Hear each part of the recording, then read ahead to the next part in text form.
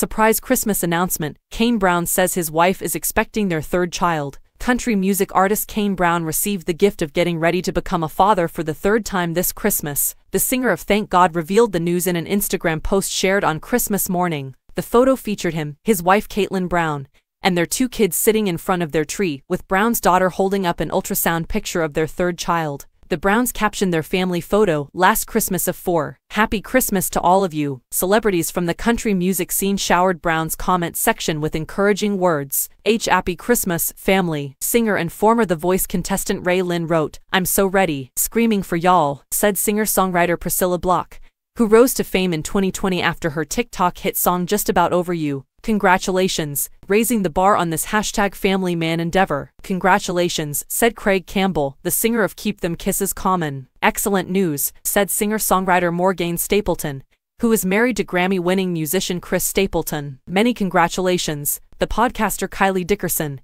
the wife of country pop musician Russell Dickerson, wrote, I was planning on keeping this secret all the way to the hospital again. Russell Dickerson also commented, CMO and Lord, Kingsley Rose, the Browns' first child together, was born in 2019 after the couple got married in 2018. In 2021, Kodi Jane, their second daughter, was born. When the 30-year-old singer performed at the MTV Video Music Awards in 2022, he made history as the first male country act along with rap, R&B, and EDM artists like Marshmello, H.E.R., and Swae Brown has also collaborated with country music icons. Brown stated to The Times in 2022 that he is hesitant to characterize his music as crossover since, as he put it, it's not like I'm leaving country music by working with musicians from other genres. He mentioned that his wide range of influences contributes to his musical adaptability. Regarding some of the songs that impacted him as a young man, Brown told The Times, of course the Thriller video, Alan Jackson's Chattahoochee has to be the choice, and after that, which song was it? My lip gloss be poppin', my lip gloss is cool. Little Mother, that's such a sick video. Mikael Wood, a staff writer for The Times, contributed to this article.